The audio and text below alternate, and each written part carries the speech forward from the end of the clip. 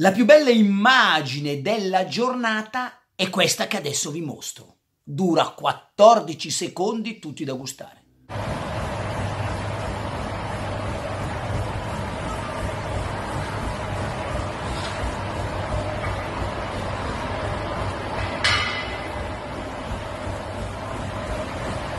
Sì, è Paquetà che corre sul tapis roulant nella palestra di Milanello. Non è che corre o corricchia, va, va forte. La signora caviglia a destra, lui gioca però sin- col piede sinistro soprattutto, sta funzionando molto bene, corre sorridendo. Vuol dire che almeno nella corsa dritta, perché poi c'è anche la corsa con le torsioni, ma almeno corsa, nella corsa dritta il giocatore sta rispondendo alla grandissima, o meglio la caviglia del giocatore.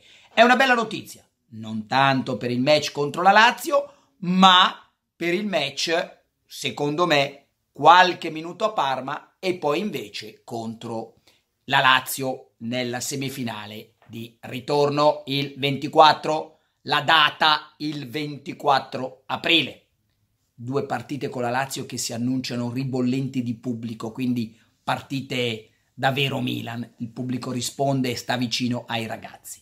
Oggi i ragazzi sono rimasti in palestra, niente allenamento fuori e quindi non possiamo valutare le condizioni di Andrea Conti, anche se, scusate, er, pens- penso proprio che possa riuscire a essere protagonista almeno partendo dalla panchina nel match già questo sabato contro la Lazio. Arbitro signor Rocchi, quindi un arbitro esperto, un arbitro internazionale, un arbitro ben conosciuto e che dà tutte le tranquillità del caso per la sua esperienza, per la sua sicurezza. Poi succeda quel che succeda, ma lo dico prima della partita. Così dopo no, ho sbagliato, no. Rocchi ovviamente è un arbitro affidabilissimo, espertissimo.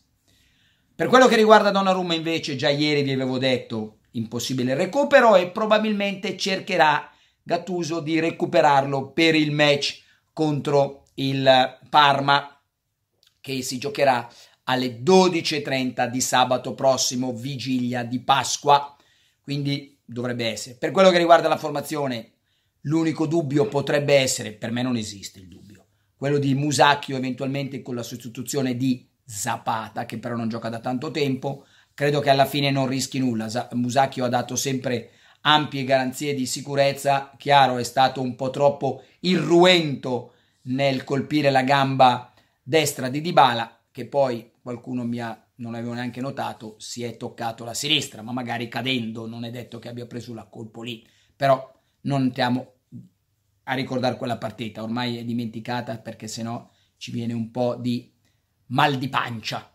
Per quello che riguarda poi, ho parlato di Maldini oggi, quando appunto ha parlato della probabile, cioè dice Gattuso, l'augurio di tutti è di confermarlo, lo vogliono confermare, però ha detto un'altra frase importante sul, sul deferimento del Milan alla Camera giudicante da parte dell'UEFA comunicato di ieri.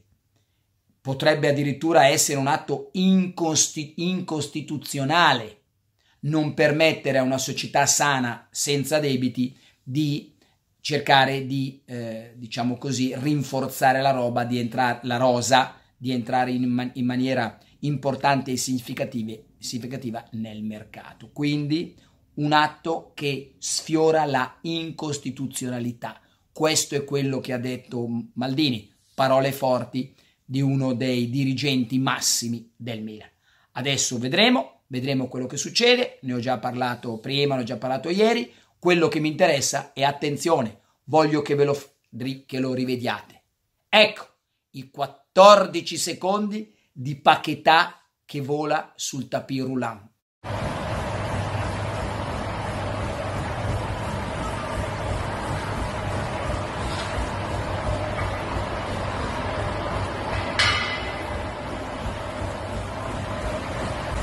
Ecco, torniamo a me se vi è piaciuto questo video mettete il vostro like e iscrivetevi al canale YouTube di Carlo Pellegatti.